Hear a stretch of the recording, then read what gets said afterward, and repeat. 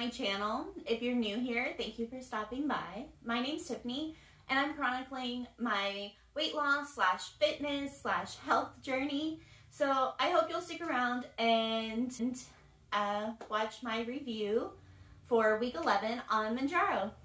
So before we jump into the week 11 review, I just wanted to uh, say I'm sorry for the delay in this.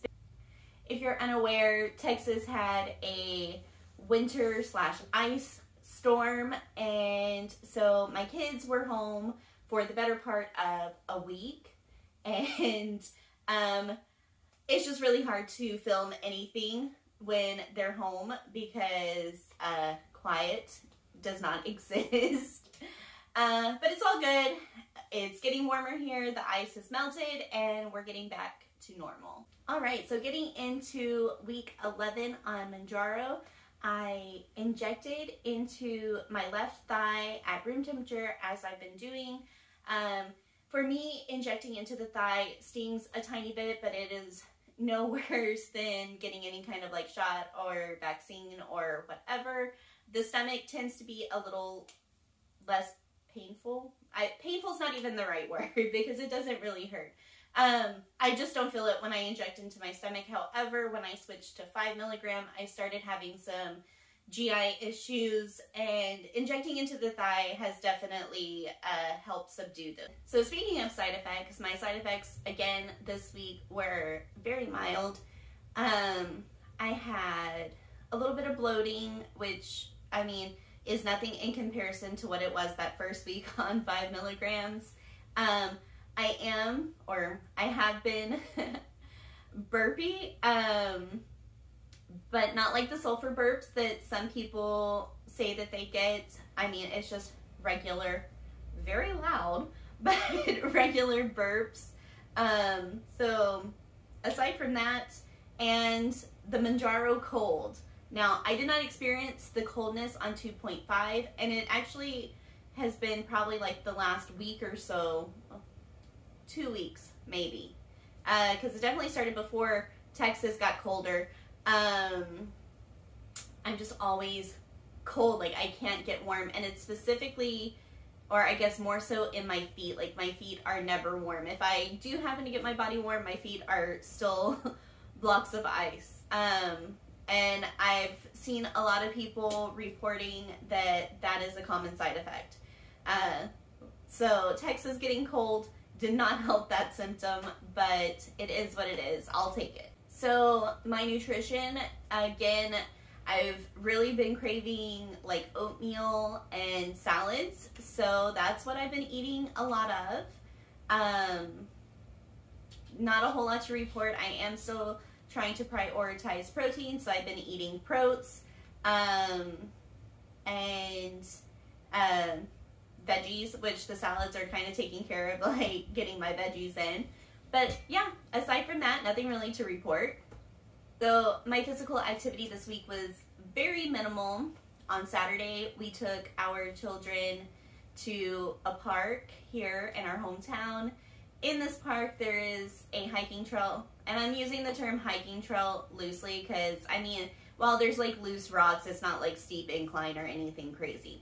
Anyways, uh, my oldest daughter really wanted to go on the trail, and while I was wearing tennis shoes, they are definitely more for fashion and they are not appropriate for hiking. But she was very adamant, and so I said fine.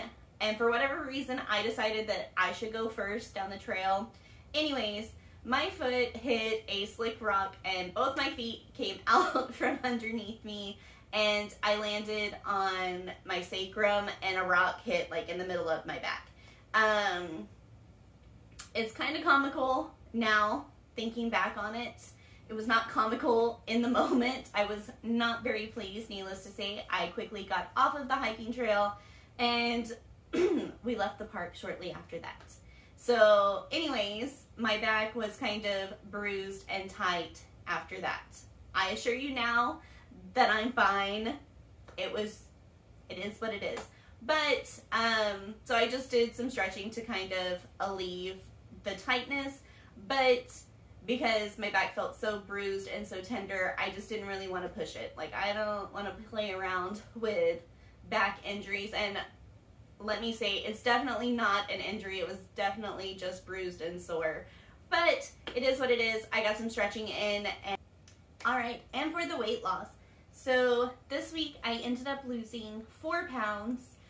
I think what happened was, um, so two weeks ago, I had gained eight tenths of a pound.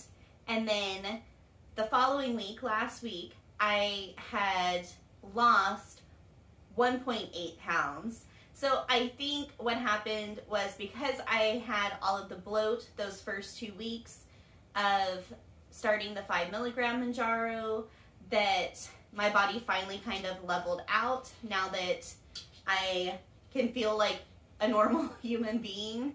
Um, and so I think it all just leveled out, and that's why that there was kind of like an increase to like my average because I have been typically losing anywhere from like half a pound to like one, 1.5 pounds at most. Um, I think the most I've lost in a week was three pounds prior, and that was in the very beginning, and it was probably a lot of bloat too. Um, so that put me at 15.4 pounds total loss since November 11th of last year, 2022. So pretty proud of that. Um, and for those of you who are interested in the inches, I will pop it up on the screen.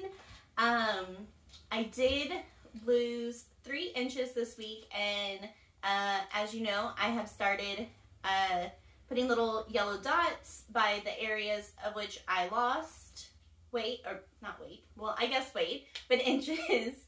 Um, so I lost three inches and that put me at a total of 23 and three quarters inches.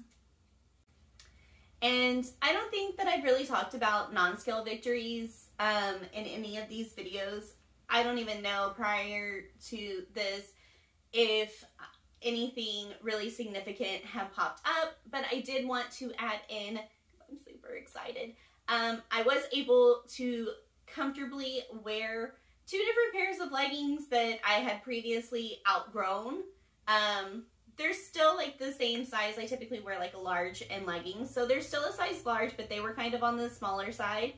And um, when I first started the Mounjaro, I definitely probably could have sized up to an extra large, but the economy anyways, so I I was able to wear those and you know, that was just super exciting that, you know, I'm comfortably fitting into things that I had outgrown. Alright y'all, I think that's all that I have for y'all today. I really hope that you enjoyed. I hope that you are enjoying following along with my journey. I would love to know how you're doing on your own personal journey. So go ahead and like, comment, let me know what's going on with you down below, and don't forget to subscribe so you don't miss any more. Until next time, bye!